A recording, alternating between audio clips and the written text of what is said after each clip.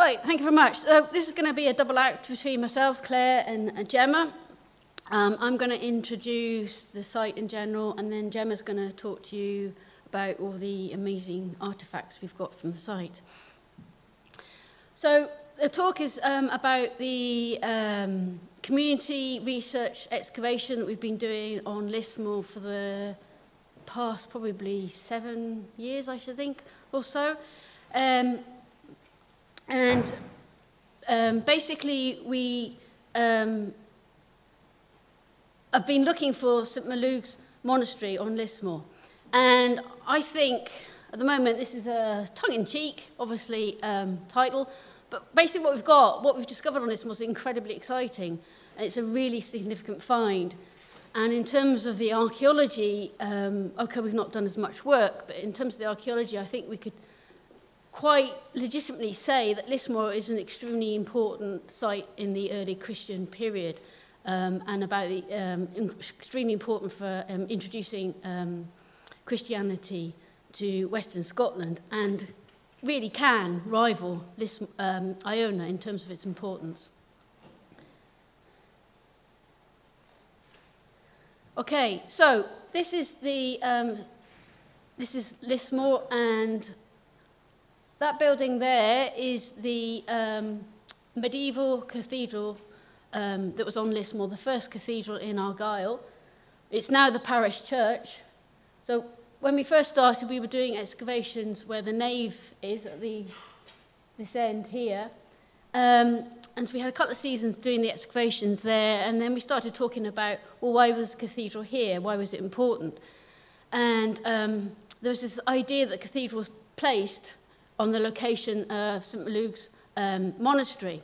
So we started looking at the idea that maybe we could explore um, the area and see if we could actually find it and find any evidence of it. The only evidence really until then was a 8th century um, carved um, slab um, cross that, uh, that had been found um, in, the, in the current graveyard.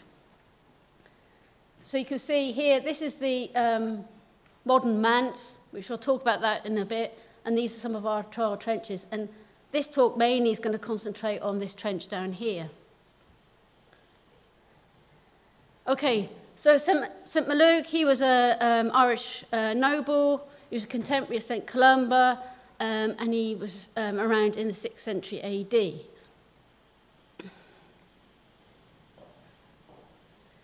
So when we were um, thinking about this, we had to obviously have an idea of what makes a, um, in archaeological terms, what makes an archaeological site, um, what makes a monastic site. Um, so we had to look for enclosure. or most monastic sites are usually enclosed, um, the sacred grounds enclosed. Um, there's evidence of burial. Um, usually get stone markers. Get ancillary buildings. You get evidence of craft working, stone sculpture, metalworking and leatherworking. Um, a scriptorium, so um, where the illuminated manuscripts were made and you know, record keeping and that kind of thing going on. Obviously you get the church and you get food production. So I'm going to go through this list very quickly. We've not got evidence of all of this at Lismore, but we've got quite a large proportion of these um, features that make a monastic site um, at Lismore. So what was our evidence for the enclosure? So this is not known as the vallum, and usually um, an earthen bank, a fence, a hedge, or a wall. So if you see here this red line, this is the current church, um, which is the cathedral, and that red line is current field boundaries, mostly, coming around here. And there was this idea that that might actually be the line of the original monastic vallum, the enclosure around the, the monastery. So what we did is we excavated some um, trenches around that boundary to see, test the theory whether that, that line that we can see nowadays in field boundaries and things was actually the line of, a, of, a, of the original enclosure. We didn't have much success, so this trench here we got this, what is in this picture is a, as a turf bank. Um, that was really the only ones, these ones here, we've got no evidence of any enclosure at all. Trench 9 is important for later on in that we got um, buried under the peat, we've got a, a layer of cobbles, uh, limestone cobbles, which at the time we didn't understand what that was, but it, becomes, it became obvious later on when we um, excavated our later trench. Um, it was related to that. So really, um, this boundary here, certainly where we've explored it, the only area we've got evidence for a bank is in Trench 9. I'm not surprised really though, because on Lismore the bedrock is limestone and it outcrops very near the surface in lots of places. And it'd been incredibly hard to dig a ditch um, through that limestone. It would have been, in terms of the manual labour, it would have been just too much, especially when you're first setting up a monastic site. Um, using turf like we've got evidence for here, we're using your precious soil resource. So again, I don't think there'd have been much of a turf bank anyway. Um, putting in um, fence line would have been difficult because of the um, nature of the bedrock. So I think actually at Lismore it well may, may, may, sorry, it might well have been a wall or even a hedge that enclosed the um, monastery. So what evidence we have for burial? So again, we've got a, an early um, estate map. So that's the church, and that's the current graveyard. And you can see there's graves marked in there, and in here there's further graves. Now this, the line of the main road comes through roughly along there, and currently this area is filled with the, uh, I think it was 1970s, early 80s, uh, a new manse was put in there. And when that new manse, this is it here, was put in, there was no archaeological uh, watching brief like you get nowadays done, but human remains were seen and kind of noted in the, the photographs, but nothing was done about it. So um, we did come back and we put in a trench the first year just here, just to see whether we could get um, evidence of um, burial. And this is our very little trench we put in, but it was incredibly productive trench in terms of our knowledge. So we've got this nice wall here. We have burials above it and none below it. Um, so that wall appears to be contemporary with the uh, cemetery, enclosing that cemetery. We dated this burial here, that's all that's left is a couple of leg bones and kneecaps. The rest of it's been truncated, but those, those legs were still in situ. And then we had another burial here, we dated that one. This one here came back 7th century AD, which is really early, fantastic date for us, brilliant. Um, means we've got an early Christian cemetery here, which is really, really exciting. Um, and then the latest burial, certainly in this tiny trench, is 10th century. So it looks like it's a, it's a fairly short-lived um, period to that cemetery. And then over the top of it, we had areas of metalworking, we had a hearth in here as well, um, which dates to the sort of 13th century, It was probably when the um, cathedral was being built. This area was then used um, to house all the craftspeople and labourers associated with building the cathedral. So this trench was just a fantastic trench in that um, we've got this enclosed burial uh, cemetery, um, which really is fairly diagnostic of having an important church, probably monastic site. Um, on the um, other side of the, uh, the New Manse, there's a stone, which is shown in pink here, is known as the um, Sanctuary Stone. So we wanted to dig around there and see if the cemetery expanded around that area. Um, and it did, and we got some probably um, 10th century burials here. You see them here, probably two brothers. we got evidence again of um, craft production and people basically living and, and, and um, doing activities over the cemetery. And again, I think this is, we're not dated this yet, but I think that's going to, again, relate to um, the building of the medieval cathedral. And we also got quite a lot of um, infant burials, which actually was very poignant in itself and slowed us down. So we didn't really get to the early burials in this, in this site. And we think these are probably fairly late. We know that they're sort of oral uh, records of them in sort of the 17th, 18th century being buried here. This is probably then out with consecrated ground at that time, but they're being buried next to the sanctuary stone. So there's a couple of the later infant burials. Um, so the other intriguing thing we've got is um, there's a stone here and a pile of bones. This is it uncovered. It's a really strange burial, this, in that some of the bone was articulated, others clearly um, disarticulated, so it was being brought together. So it was a combination of a disturbed burial, then with other, other um, bones added into it. Um, and one of the leg bones, when we washed it, was quite intriguing. As you can see this mark here, and you can see some marks on here. Um, and then there's further marks.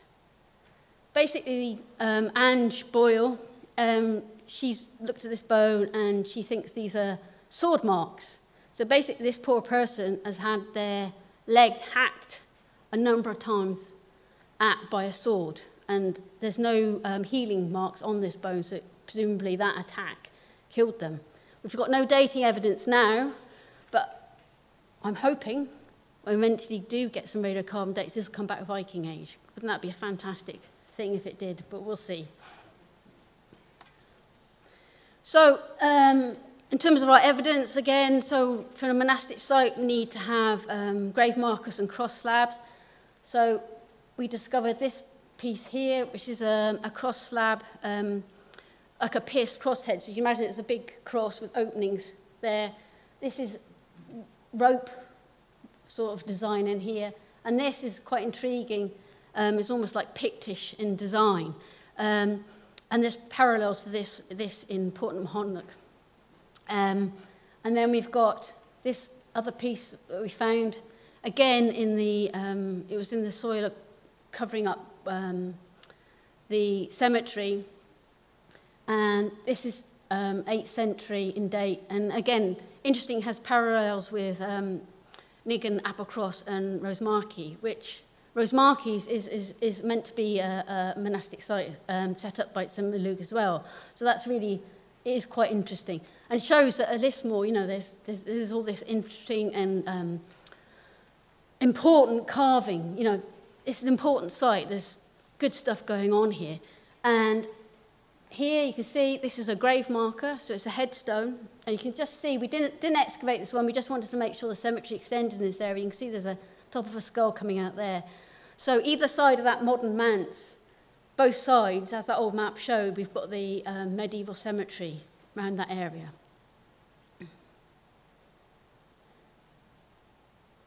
So the next thing that we need would be ancillary buildings and evidence of specialist craft working area to make this a monastic site. Um, so we got some geophysics, Rose Geophysics, um, looked at the whole glebe area for us and found lots of different things. But one of the things they found was a, a, ra a round circular structure here and a rectangular, possible rectangular structure here. Now this area nowadays is just pretty boggy and pretty awful bit of the glebe field. So we were a bit sort of like, really? Be nothing down there. Anyway. So this is the trench we opened up, and sure enough, good old geophysics. So you've got a stone structure here, and then we had this linear, linear um, stone structure here. Um, and you can see this is the entrance and we've got this beautiful, um, basically it's like a stone roundhouse. And it's got different phasing. At one point the roof burnt down. Um, again, we've not got any ready to accommodate from it here. But the nature of it, I mean, it's potentially could be medieval. We have read medieval roundhouses in Scotland, but they're very rare. But I'm hoping it's going to come back early medieval and be contemporary with the um, early monastery. Right, I'm now going to hand over to Gemma, who's going to tell you all about the amazing finds. Okay, so there was over 1,500 individual finds recovered during these excavations so far, and this includes a whole range of materials, metals, ceramic objects, glass, bone and stone. Earlier this year I did an assessment of these finds just to get a, um, a basic idea of what is there, how much there is, and try and come up with a plan for what we would do for full analysis. So what follows is preliminary, and there will be a lot of detail to draw out of these in the future. The assemblage is really dominated by nearly a thousand fragments of non-ferrous metalworking debris. So 742 ceramic mould fragments which were used for casting metal objects, and 187 crucibles. The crucibles in particular are really well preserved. There are intact examples, which is very rare, and many preserve enough features to be able to have a close look at their form. These shown here with the unusual diagonal handles are so distinct, but there are other larger bowl types. Um, there are fragments with kind of subcircular lugs on them, which were probably the lids for crucibles. And all these types are readily paralleled at Dunadd in particular, um, from 7th to 9th century AD context.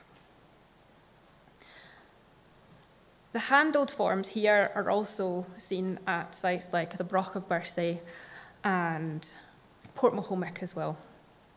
So I analysed two of these using X-ray fluorescence, XRF, just to get a quick idea of what might be going on, and the two that came back had been used for copper alloy.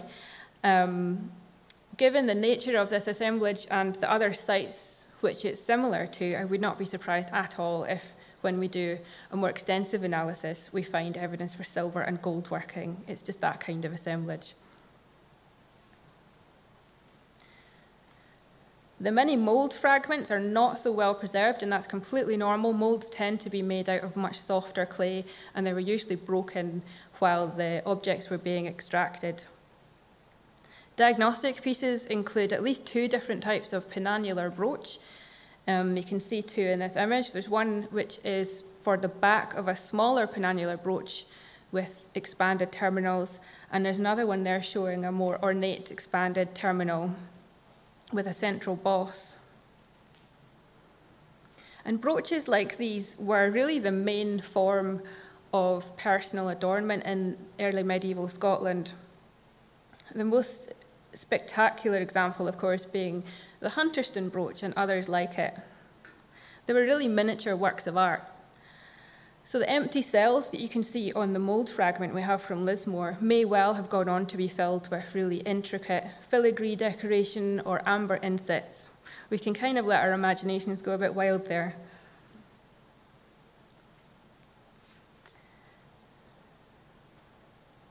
Other mould fragments included a whole range of things like um, hoop fragments, which are probably from other, maybe smaller, simpler penannular brooches, rectangular frames that are probably from buckles, and all different shapes and sizes of flat plate mounts, which would have been attached to things like wooden boxes or leather straps. Um, but yeah, still lots to draw out there.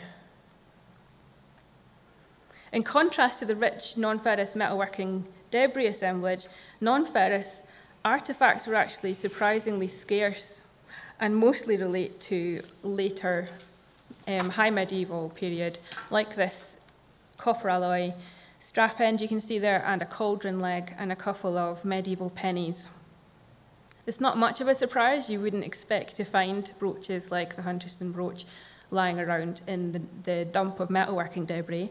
But it is interesting there's no fragments of casting droplets um, or miscast objects, which possibly suggests that the raw material was um, still quite valuable and would have been reused rather than being dumped, despite the scale of activity going on. As well as non-ferrous metalworking, there's ironworking going on as well. So around 20 kilograms of ironworking slag was discovered, and the types of slag present show that they were smelting iron, that is, extracting iron from the ore, and also blacksmithing, so they were hammering that iron into objects as well. Ironworking evidence is commonly found on monastic settlements, and particularly blacksmithing, and the blacksmiths would have been um, busy all the time making and mending all the different tools and implements they used. A range of iron artifacts were recovered, and these are awaiting x-ray, so we can't go into much detail there. There's obviously a lot of things like nails and other structural fittings and knives. Um, given the large quantity of craft working evidence on the site, I would not be surprised if there's things like awls and punches for craft working hiding in there.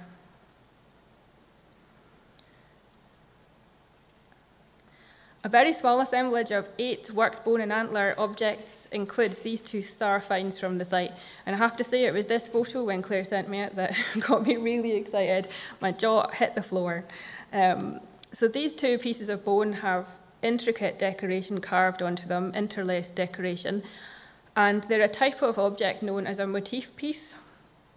Motif pieces were traditionally thought to be um, practice pieces for craft workers who were trying out designs that they would then go on to um, undertake on metalwork or carved stones. There's some of the pieces really are hard to parallel, the designs are hard to parallel on finished objects, but also I just find it kind of unfathomable that these were practice pieces sometimes. Some of them are so beautiful in their own right that it seems um, unlikely that they were just a trial piece and then thrown away.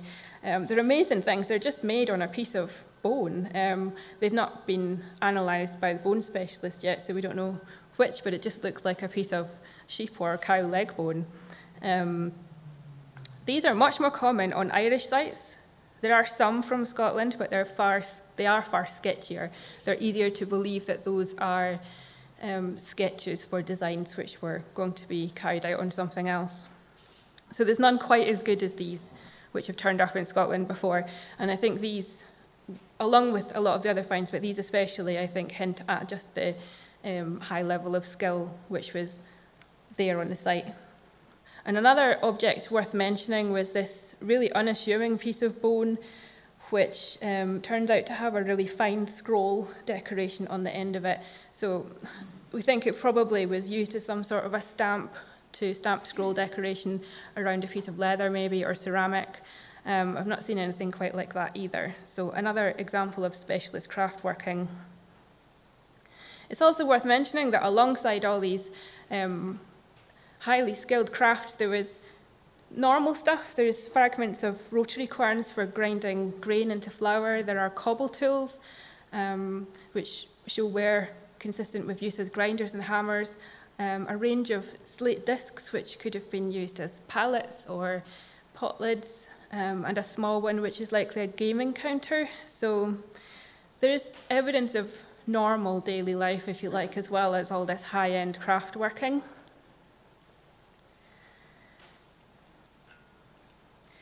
And briefly, other objects I've not shown um, include pieces of waterlogged worked wood. Um, and I've mainly not shown them because my photos were so awful. um, photographing soggy wood turns out to be very difficult.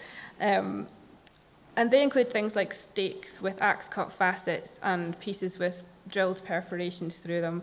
And that will be really exciting to study the types of wood used and the techniques used to work that because it so rarely survives. And um, it would be exciting to compare that with the types of sites that usually turns up on like Crannog sites. There's a small assembly of pottery, which mainly includes modern stuff from um, topsoil, but a handful of medieval green glaze shards and about 10 shards of what looks like prehistoric pottery, which um, could be much earlier than the early medieval stuff we've just been looking at. Um, and there is an early Bronze Age flint arrowhead as well. So there's clearly a scatter of earlier material there too. So just in summary of the finds, um, looking at the assemblage as a whole, the metalworking debris, the carved stone cross fragments that Clare showed you, and the motif pieces really together illustrate a very high level of skill. And it's, they're really right up there with the other big craft working sites in early medieval Scotland. And even from an initial assessment, there's lots of parallels can be drawn with the better known sites like Iona, Portmahomack and Whithorn, um, as well as non-monastic sites like Dunadd.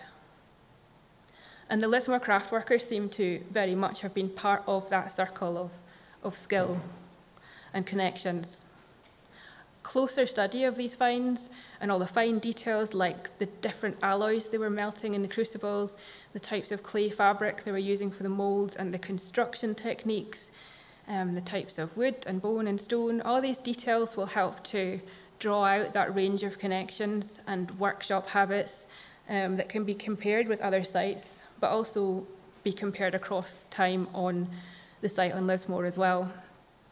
So in summary, a really fascinating, exciting assemblage. particularly the craft evidence, and a huge amount of um, potential to increase our understanding of aspects of early medieval Scotland, Argyll in particular, and especially Lismore, the broader history of Lismore as well? Just to say, um, it was a community-led research excavation, um, and I think it's a really nice example of what a community with incredibly limited budget, financed by the society on quite a number of occasions, um, you know, hard work and determination, a huge amount can be achieved, and you can actually, we, you know, we, we, we've got this amazing site, and I think um, all credit to the community for sticking at it. You can see some of the conditions there we were working in. It was pretty, pretty desperate, and everybody just gets on with it and seems to really enjoy it. And I think, um, yeah, they've done a fantastic job. Okay, thank you.